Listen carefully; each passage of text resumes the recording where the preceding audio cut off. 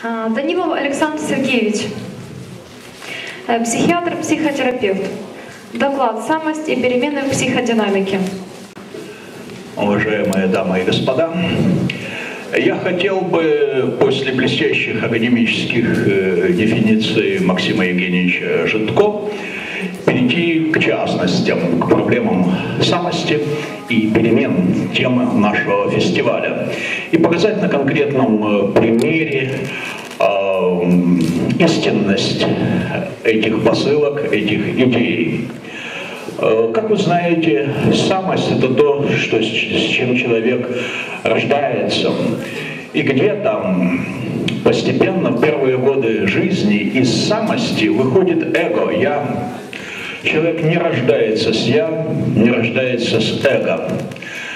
И в течение первых лет жизни, ну вот э, специалисты считают до трех лет жизни, есть какая-то связь между хтонным, почвенным, глубинным, бессознательными силами. В греческой мифологии это титаны, да, э, которые когда-то были главными на земле, а потом уже возник Олимп. Все это зашифровано в мифах. И потом, э, когда формируется я, то эта связь все-таки есть. И вот трагедия человека, как вот мы считаем и мы несем отпечатки этой трагедии, почему наши проблемы, вот обыденные проблемы, социальные проблемы происходят, потому что рвется связь между самостью уже в узком смысле слова и я. Хотя и самость, и эго это входит, собственно, в самость в широком смысле слова. И вот эта связь, она рвется, но воспоминания о ней подспудно присутствуют. И моменты кризисов, моменты потрясений, моменты фрустрации делаются попытки достичь тех особых состояний, попытки восстановить свою самость. По Юнгу самость это один из архетипов коллективного бессознательного. Но при помощи этого архетипа а индивидуум а, во время своего созревания, психологического развития, оно может длиться несколько десятилетий, он принимает э, архетипическую роль. Ну, например, шаманки, великой богини, жрицы, или вот э, старого мудреца, или воина. И самое интересное, что этот процесс неосознаваемый, Дело в том, что когда возникает наше «я», нет необходимости для развития в социуме поддерживать связь с самостью. Оно автономно, наше «я». Оно планирует, каким мы должны быть. Кто принимает участие, я думаю, вы знаете. Это значимые особы из нашего окружения. Это родители, опекуны, родственники, затем это учителя, наставники, это государственные институты. И вот иногда та модель, которую наше «я» под влиянием этих значимых особ выбирает, она не совсем устраивает нас в целом. Мы теряем эту целостность. И возникает какая-то языком Ильи Ильича Мечникова, нашего земляка, э, дисгармония, дисбаланс. Не зря Лев Толстой интересовался именно этим вопросом в беседе с, приватной с Ильей Ильичем Мечниковым. И вот эта дисгармония, какое-то какое смутное ощущение, что все не так. Но оно отражено чуткими наблюдателями, представителями художественного творчества. Я помню скандальное происшествие Герминделя по Пристли, экранизированное в виде телевизионного фильма. Преуспевающий бизнесмен смотрит друг на витрину, видит там игрушки, а он должен идти на работу, у него деловые встречи, и вдруг его как бы осеняет, зачем все это? И он начинает вести точки зрения трезвого смысла неадекватное. Да? Зачем? Почему? Этот момент, я обращаю ваше внимание, очень важен, Потому что гений Юнга заключается в том, что он сказал, что не только наше «я», наше эго детерминирует, как мы должны дальше развиваться, что мы должны делать завтра, что мы должны вот делать э, здесь, на этом фестивале, в своей карьере. Но Юнг сказал, что само самость тоже может э, изменить наш жизненный путь, независимо от нашего сознания. Юнг даже подчеркивал, что рано или поздно человек неизбежно, но если не будет каких-то чрезвычайных происшествий, вернется на ту колею, которая детерминирована. Он не уйдет от своей судьбы. И часто, когда бывают потрясения, индивидуум через алкоголизацию, через употребление наркотиков, через регрессию, как это говорят, к старым паттернам поведения в процессе его прежнего развития, э, либо желание слиться э, с какой-то средой, которую он себя ну, не совсем идентифицирует как зрелая личность. Вот попытка уйти и соединиться к самости. И показательно, чтобы еще раз проиллюстрировать этот э, тезис, я бы хотел обратиться к примеру художественного творчества и личностью художника. Это Льва Николаевича Толстого. Я обращаю ваше внимание на первый взгляд, я несколько схематичный рассказ «Отец Сергий», где молодой аристократ, князь Степан Касацкий, привилегированном военном учреждении учится и посещает император Николай I. И когда обращает внимание на этого талантливого курсанта, молодого император спрашивает, что бы ты хотел, князь? Он сказал, умереть за ваше величество, с обожанием смотрит на любимого императора.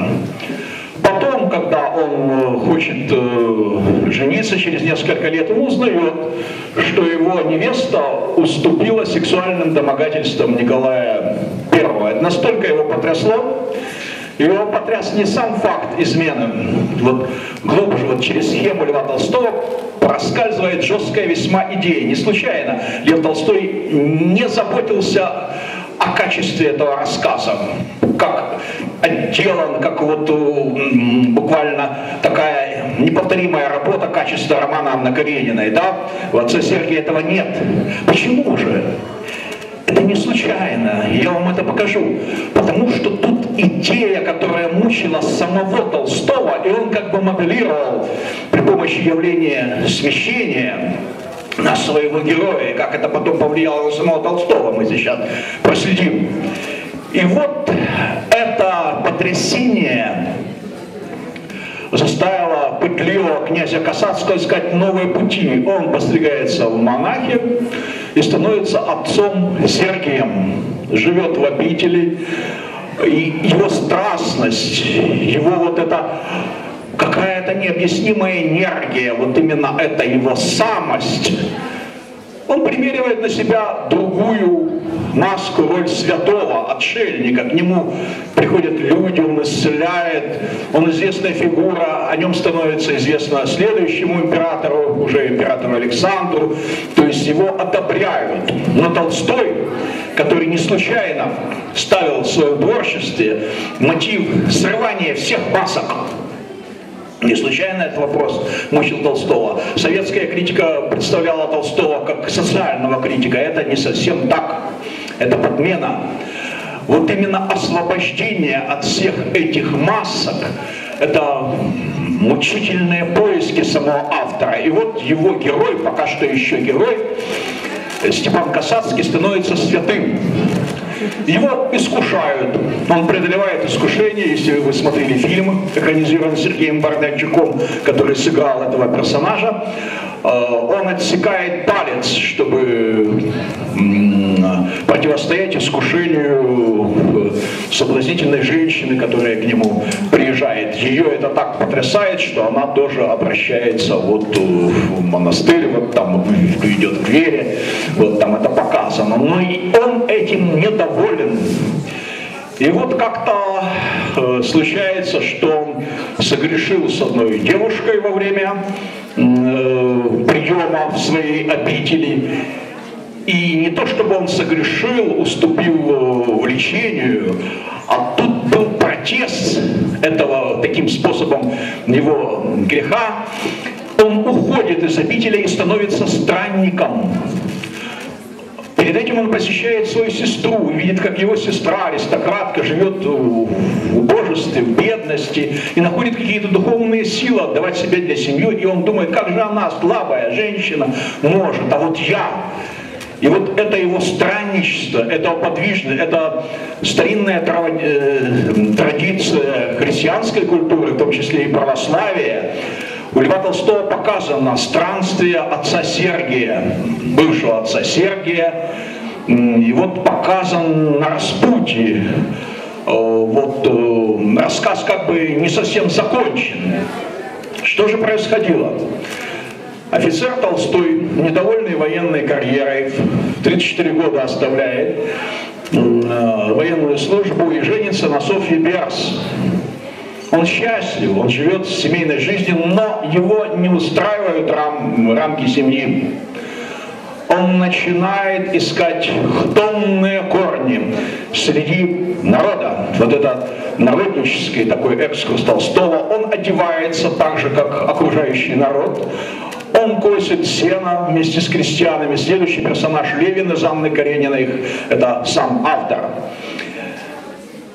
И чувствуется его огромное влияние на всю страну и на весь мир. За Толстым, за Толстым с напряжением следит весь мир. Устраивает ли его это? До поры до времени. Не устраивает это его тоже в конце. И в конце то, что трактуется как выходку.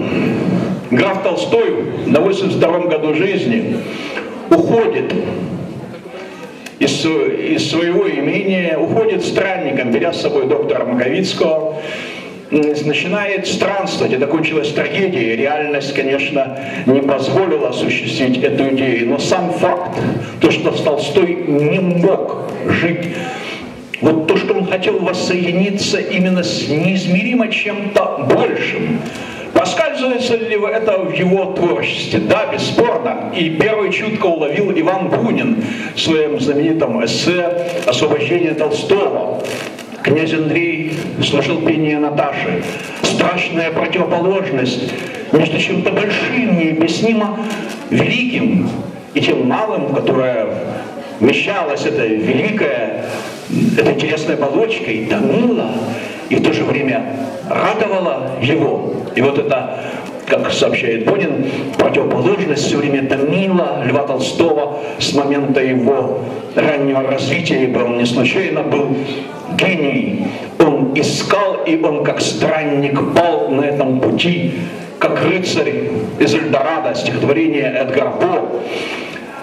И вот это воссоединение с самостью происходит у некоторых метущихся натур и в нашей обыденной жизни. Э, бизнесмен Хьюга из нашумевшего романа 50-х годов в Англии Арис Мердок под сетью бросает э, свои фабрики, свои заводы, свое состояние, отказывается от всего и уходит жить в бедный квартал Лондона. Вот этот пример, э, он постоянно мучит европейскую, и не только европейскую, мировую интеллигенцию. Отказ от всего ненужного. Ведь не случайно у Толстого было срывание всех масок.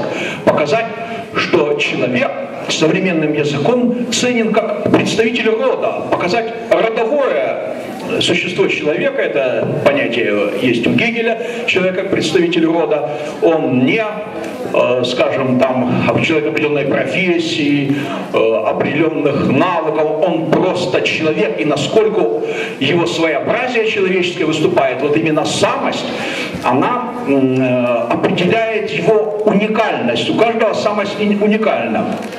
И вот в разных школах психотерапии да и философских тоже практиках, эзотерических, духовных практиках делается попытка, как мне представляется, иногда не совсем осознаваемая, глубинная попытка, не только устранить какую-то проблему, а вот воссоединить гармонию э, свои, своих тех ролей, тех дорог, которые мы выбираем, да? У нас несколько ролей. Роль семьянина, там, роль знакомого, э, роль представителя какой-то профессии, роль прохожего, э, роль слушателя, роль лектора. И вот когда эти роли, понимается относительность этих ролей, и идет попытка воссоединиться своим истинным «я» через разного рода, конечно, специальные техники и практики. Но насколько мы успешны в этих попытках изменить себя, вот этот фатум, который неизбежно толкает нас общество, окружение, что мы должны именно этим путем идти, а не другим. Дело в том, что у Юнга отчасти наряду с его терапевтическим оптимизмом звучали пессимистические тенденции. Он говорил, что все то, что происходит, вот эти демоны, они как бы сами могут толкать нас на перемены, и мы, на перемены, и мы этого не осознаваем. К сожалению, этот процесс часто бессознательный, но догадываться о том, что он есть, принять, что мы нечто большее, чем собой представляем, или самим себе кажемся, это уже большое дело, это уже путь к переменам. И вот тогда, как мне представляется, происходит счастливая возможность. Это детерминанту перемен, которые часто наша самость неумолима, наша, по, у Сократа это даймоний, демон, да, у Бадлера это тоже стихотворение «Мой демон», да, которое толкает нас на необъяснимые поступки, противоречивые. И вот когда мы соединяем это уже с сознательным нашим «я», пытаемся наладить вот этот утраченный мост, когда-то мы оторвались от самости. Самость и вот эти перемены идут двояко. Они идут из глубины, и в то же время мы сами как-то вот тоже регулируем, идем им навстречу. И, по-моему, это было бы, конечно, замечательное равновесие. И чего тут больше? Психологии, философии или педагогики, или исканий души, религиозных, других исканий. Трудно сказать. Как известно, на вершину ведут несколько троп, но все они ведут на вершину. И эти перемены, они отражены во всех шедеврах, бестселлерах современных. Вспомните «Чайку по имени Джонатан Ливингстон», вспомните Данте, потрясающая, до конца еще не изучена божественная комедия, когда герой Данте э, путешествует подземелье, ад, чистилище, и встречает там свою возлюбленную Беатриче, и прячется от ее укоризненного, опаляющего взгляда. Он понимает, что никаких оправданий быть не может. И там есть такие строки Напрасно я во снах к тебе вызывала. Он боится этого взгляда. И это потрясло Нобелевского лауреата Томаса Стернса Лиота, и он написал следующее. «Я глаз во сне опасаюсь, эти глаза, солнечный свет на разбитой колонне, дрожащие ветви, а голоса торжественнее, отдаленней, чем гаснущая звезда. Да не приближусь, да унижусь, предстал нарчитой личиной, в крысиной одежке, в шкурке, в воронье, в поле на двух шестах, воробьям на страх. Только не это, только не эта последняя встреча в призрачном царстве смерти. Ибо там герой Данте понимает вот эту тайну, вот эту глубинную тайну. Иначе как самость это не назовешь. И соприкосновение с тем, у зрелого человека, что у него есть нечто, над чем он не властен, но к чему он стремится, порою является шоком. И нужно быть чутким по отношению к самим себе.